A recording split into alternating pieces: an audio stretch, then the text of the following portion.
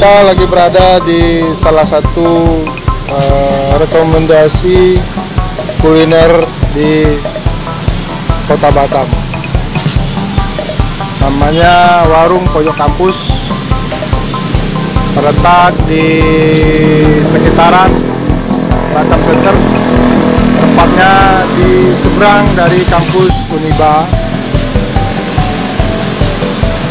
Dan ini ruko KDA Junction ya di Batam Center. Uh, yang menarik dari warung pojok kampus ini adalah perjuangan. Perjuangan dari seorang koki ternama yang selama ini beliau uh, mengabdikan diri di sebuah hotel tertua di kota Batam, tepatnya di Hotel Nagoya Plaza. Covid memberikan pilihan berbeda bagi beliau sehingga membuka langkah dia untuk berbuka usaha sendiri. Yang terkenal dari masakan mereka, uh, bapak kita ini adalah sop buntut balado. Aneka sop ya, ada tulang, sop ayam, ya, kita lihat di sini. Ya, sop daging hingga ikan bakar. Kawan-kawan kami sudah datang ke sini mencoba apakah ini recommended, apakah makanan kelas hotel, hotel berbintang 4 ini akan tersajikan di kelas uh, kaki lima gitu. Kita akan coba dan kita akan coba mewawancari bapak ini. Saya belum tahu nama beliau siapa. Semoga ini juga bisa menjadi rekomendasi bagi masyarakat Batam yang tepatnya tinggal di sekitaran Kecamatan Batam Kota ya.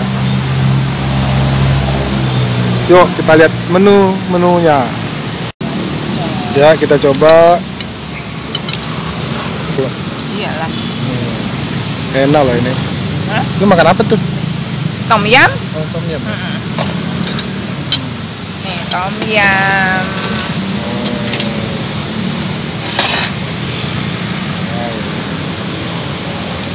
Ini baru porsi porsi menu satu per satu kita coba ya. Enak. Seperti yang Bapak bilang itu gimana rasanya? Coba. Enak. Tom yumnya pas. Ah, Oh, ininya apa balado tadi? ah, so, bentuk balado. Tutup baladonya enak. Baru ini nyobain. Oh, Mantap. gitu. Ayo makan. Di pojok. Udah berapa lama buka, Pak? sekitar satu bulan setengah Satu bulan ya. Eh, join kah atau bagaimana nih? saya join Pak. Berapa orang, Pak?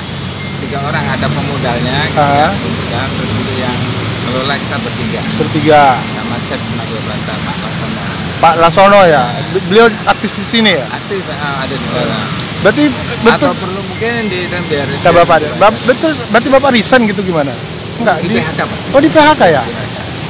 Oh, iya iya. Berarti aktif semua di PHK udah pernah? Plaza Iya, kita tetangga lama ini udah berapa lama di Nagoya Plaza, Pak? tahun di Nagoya Plaza kita udah 25 tahun 25 tahun. Chefnya juga gitu. chefnya ya Pak bersama Bapak sendiri sebagai apa di Nagoya Plaza? di kasir sekaligus untuk yang waiter Oh, waiternya. ya.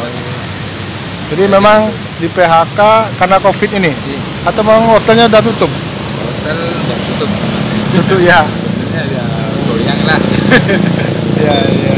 Terus menunya apa aja ini? kita untuk menu kita menggunakan dari Ah. Nagoya Plaza Pak Oh, gitu. untuk sop buntut baladonya Butuh belado. tom yum Ah. sop ikan Ah. Rekomendasi dari Apa yang membedakan uh, rasa hotel dengan rasa sini ada perbedaan nggak? sebetulnya untuk rasa tak ada Tidak ada. karena Ya? sama-sama Yang membedakannya apa? sana. cuma bedakan harga Harga ya. Kalau harga hotel berapa? Harga mau 170 Oh, kalau di sini berapa? cuma 35 ribu Alhamdulillah. Jadi memang Bisa mencicip lah. jadi Iya. untuk Ah. istilahnya tesnya pun sama untuk sama ya. buntutnya kita mengambil dari impor jadi Oh. dia lebihnya sampai Ini ya yang buntutnya ya. Iya, lebihnya.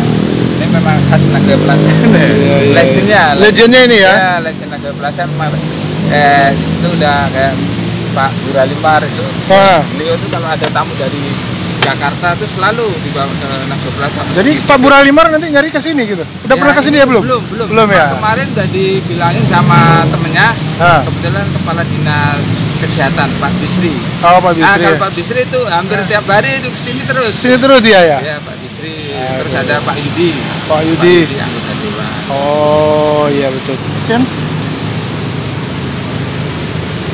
Guys, lagi guys. Belado masuk ke sini. Nah. Bismillahirrahmanirrahim.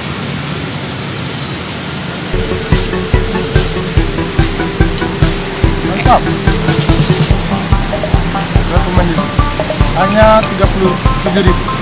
Selamat malam Pak. Assalamualaikum Mbak. Ya. Waalaikumsalam. Dengan Bapak siapa ini Pak? Dengan Bapak Lasono. Pak Sono ya. Iya. Jadi kami berdua ini datang ke sini memang terinspirasi rekomendasi dari kawan-kawan yang pernah nyoba di sini. Nah, katanya ada kopi ternama buka usaha pasca covid. Iya. Jadi Bapak eh, Suarsono ya. Lasono. Oh Pak Lasono maaf. Ya.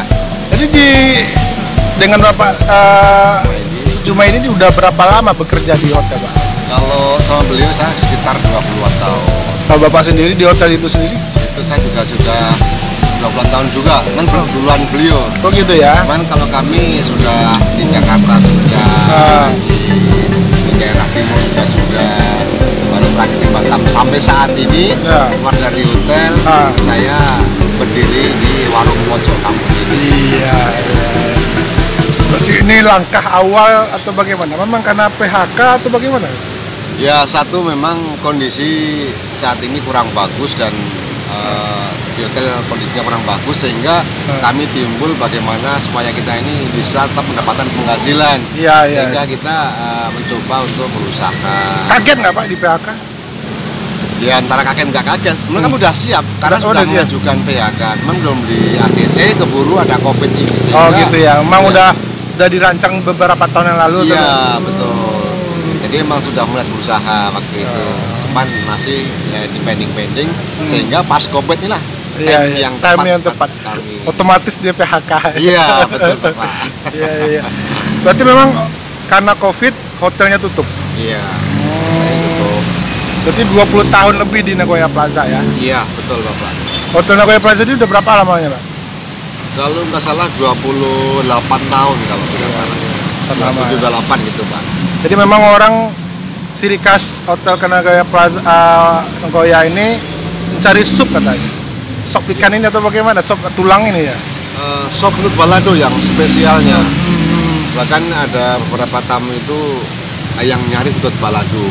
Oh, gitu Ternyata nut balado kita di Nagoya ini cukup dikenal tamu juga. Iya, iya. iya. Sehingga saya kembangkan di sini ya Wah. siapa tahu nanti Ini kita menu sendiri atau bagaimana? Kembangan dari apa? Aslinya ini dari hotel juga. Oh, iya. Kalau dari hotel, memang kami yang omset, tapi Iya.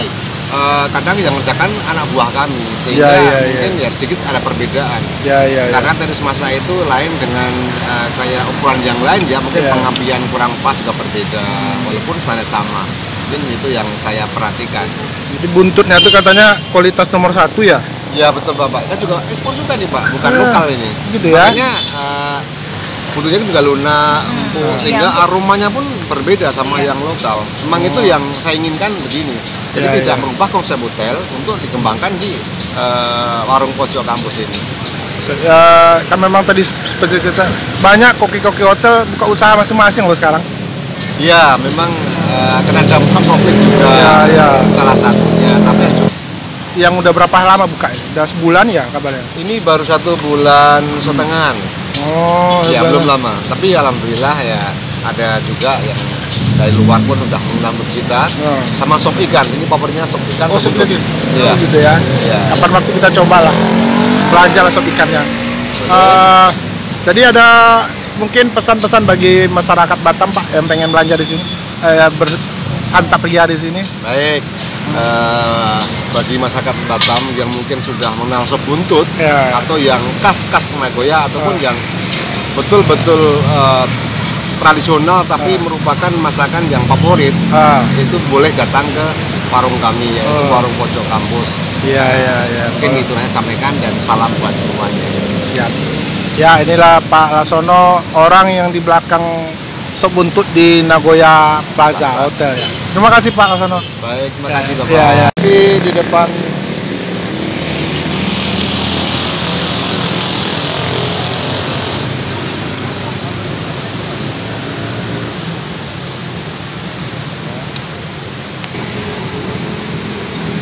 Oke. Terima kasih Anda telah menonton informasi dari Warta Camping.